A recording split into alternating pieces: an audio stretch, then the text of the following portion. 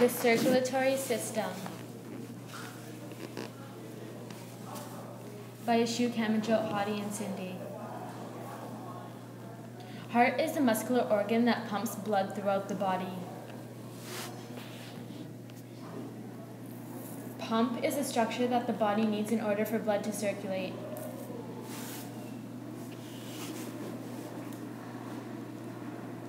The right atrium is the first place where the deoxygenated blood gets pumped. The right ventricle is where deoxygenated blood gets pumped after it leaves the right atrium. The left atrium is the first place where the newly oxygenated blood gets sent to.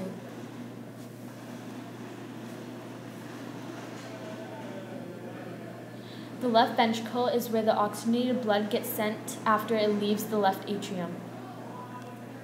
Veins are thinner blood vessels that carry deoxygenated blood to the heart. Arteries are thicker blood vessels that carry blood away from the heart, most of the blood oxygenated.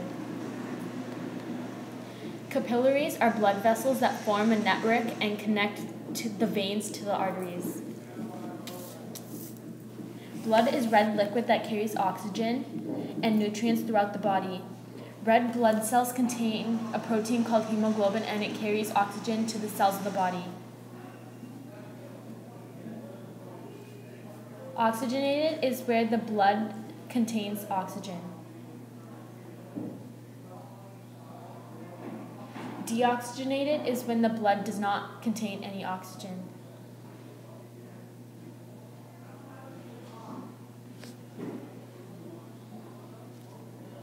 The respiratory system takes in oxygen and breathes out carbon dioxide. It's related to the circulatory system through gas exchange in the alveoli. Lungs is an organ of the respiratory system and they take in oxygen and release carbon dioxide.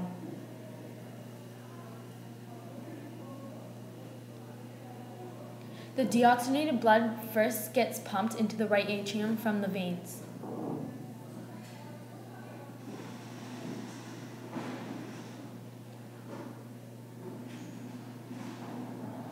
The right atrium then sends the deoxygenated blood to the right ventricle. The right ventricle then sends the blood to the lungs to fill it up with oxygen.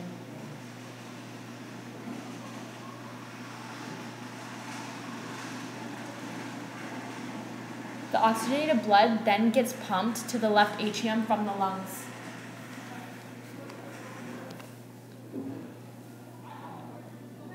The blood gets sent to the left ventricle.